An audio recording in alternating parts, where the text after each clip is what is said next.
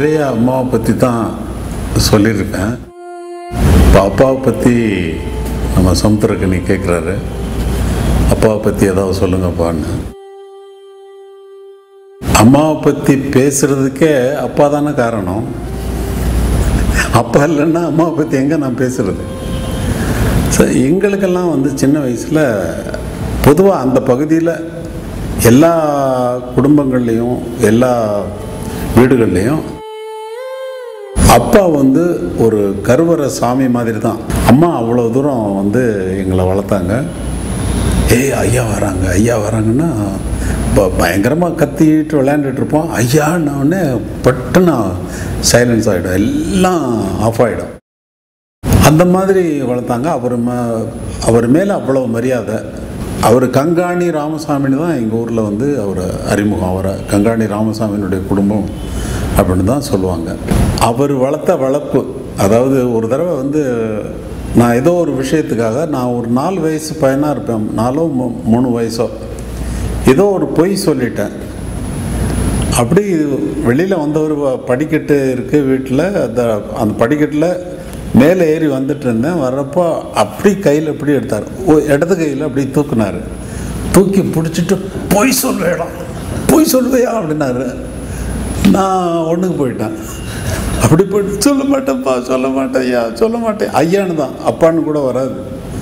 சொல்ல மாட்டேயான்னு அதிலிருந்து நான் பொய் சொல்கிறது அப்படிங்கிறது வந்து அந்த மாதிரி சந்தர்ப்பங்கள் ஏற்படுகின்ற நேரத்திலெல்லாம் இந்த சம்பவம் ஞாபகம் வந்து என்னை பொய் சொல்ல விடாமல் தடுக்கும். அப்பாவுக்கு நம்ம வாக்கு கொடுத்துருக்கோம் அப்படின்னு. அப்பாவுடைய வழிகாட்டுதல் இல்லைன்னாலும் கூட அப்பா இருக்காரு அப்படிங்கிற ஒரு உணர்வே நம்மகிட்ட வந்து ஒரு ஜாக்கிரதை உணர்வை ஏற்படுத்தும். அப்படிப்பட்ட ஒரு குடும்பத்தில் வளர்ந்து நான் இப்படி உங்கள் முன்னால் நின்று எங்கள் அப்பாவை பற்றி பேச வேண்டியிருக்கு. எங்கள் அப்பாவுக்கு இசையில் ஆர்வம் உண்டா இல்லையா அப்படிங்கிறதெல்லாம் எனக்கு தெரியாது. எனக்கு தெரியாது. இப்போவோ ஒரு தடவை வந்து இப்போ எனக்கு நான் பிறந்தப்போ என்னுடைய ஜாதகத்தை பார்த்துட்டு அப்பா வச்ச பேர் வந்து ஞான தேசிகன் வச்சாங்க. ஸ்கூலில் கொண்டு போய் சேர்க்கும் பொழுது அப்பா என்ன பண்ணாங்க? கூப்பிட்றதுக்கு கூப்பிடுறதுக்கு ஈஸியாக இருக்கட்டும்னு சொல்லிட்டு ராஜையா அப்படின்னு மாற்றி வச்சாங்க. அதனால் அவருக்கு இந்த ஜாதகம் இதுகம் எல்லாமே வந்து அவருக்கு நல்லா தெரியும். எங்கள் அக்காவுக்கு குழந்தை பிறந்த நேரத்தில் பெண் குழந்தை பிறக்குது. இந்த குழந்தைய இவனுக்கு தான் கட்டி வைக்கணும்னு சொல்லிட்டு அப்பா தான் ஃபிக்ஸ் பண்ணிட்டு போனாங்க. என்னுடைய கல்யாணத்தை கூட எங்கள் அப்பா தான் ஃபிக்ஸ் பண்ணிட்டு போனாங்க. ஒம்பது வயசில் என்னுடைய தந்தை என்னுடைய மரணம் நடந்தது.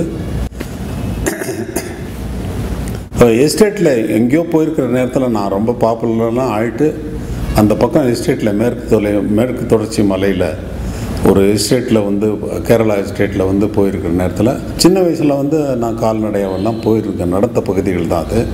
பாம்பாடும்பாறை எஸ்டேட்டு பூம்பாறை மயிலாடும்பாறை இந்த மாதிரி பீர்மேடு தேவிகுளம் இதெல்லாம் வந்து நான் நான் தெரிஞ்சு கொண்டிருந்த ஏரியா தான். அதில் வந்து போய் கொண்டிருந்த நேரத்தில் யாரோ ஒரு வீட்டில் அப்பாவுடைய நண்பர் அவருடைய வழி வழியாக வந்தவங்ககிட்ட ஒரு ஃபோட்டோ ஒன்று இருந்தது. அதில் கலெக்டரு அந்த ஏரியாவில் இருக்கக்கூடிய ஏ- ஏலக்காய் எஸ்டேட்டினுடைய முதலாளிகள் எல்லாரும் டென்னிஸ் ஆடுறதுக்கு போகிற ஆப்டராயரோட அப்பாவும் உட்காந்துருக்காங்க ஒரு டென்னிஸ் பேட்டை வச்சுட்டு. அந்த வரிசையாக ஒரு குரூப் ஃபோட்டோவில் அப்போ அடடே அப்பா இருக்காங்களே இதில் அப்படின்னு. அப்படி ஒரு குரூப் ஃபோட்டோ பார்த்தா எனக்கு ரொம்ப ஆச்சரியமாக இருந்தது. ஓ அப்பா டென்னிஸ் எல்லாம் ஆடிருக்காங்களா அப்படின்னு. பண்ணப்புறத்தில் பிறந்துட்டு இந்த கிராமத்தில் பிறந்துட்டு இப்படியெல்லாம் ஆடிருக்காங்களான்னு அது ஒரு சந்தோஷமாக இருந்தது. ஓ இதெல்லாம் தெரிஞ்சிருக்கு அப்பாவுக்கு. கலெக்டரோட உட்காந்து கலெக்டரோட ஆடிருக்காங்க அப்படிங்கிறது வந்து ஒரு மகிழ்ச்சியாக இருந்தது. அப்பாவினுடைய நினைவுகள் வந்து நம்மளை நம்ம வந்து ஒரு ஒழுங்கான மனநிலையை வந்து நமக்கு தருது. அம்மாவனுடைய அன்பு வந்து நம்ம வந்து இந்த சமூகத்திலையும் உலகத்திலையும் ஒரு உறவு முறைகள்லையும் ஒரு அன்போடு இருக்கணும். ஒரு அதை அது அது வார்த்தைகளில் வர்ணிக்க முடியாது. அம்மா அம்மாவை பற்றி சொல்லும் பொழுது வார்த்தைகள் வந்து வராது. அது அம்மானா அம்மா தான் ஆனால் அப்பா அப்பா அப்பா தான் அப்பாவினுடைய ஸ்தானம் வேற. கருவறை சாமி என்று சொன்னேன் அல்லவா? அது அதுதான்.